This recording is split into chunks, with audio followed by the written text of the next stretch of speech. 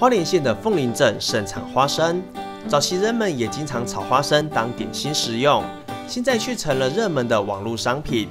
看似平凡的农具行，墙上高高挂着“美好花生”的招牌。这里是许多媒体争相采访的传统炒花生，与农民契作，并找社区妈妈一起合作剥花生，炒花生就成了凤林的新特产。美好花生巧妙运用了行销以及网络的力量，在现在的生活中重现了古早味的美好。我用传统的方式哈，最早用那个手工传统用大锅这样炒的哈，它是香脆，它把它的香味从那个花生里头，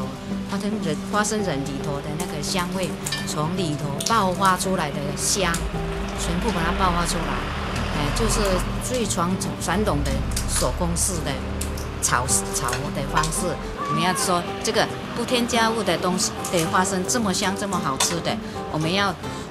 教教教育说你年轻的一代认识这个，诶很自然的那个食材。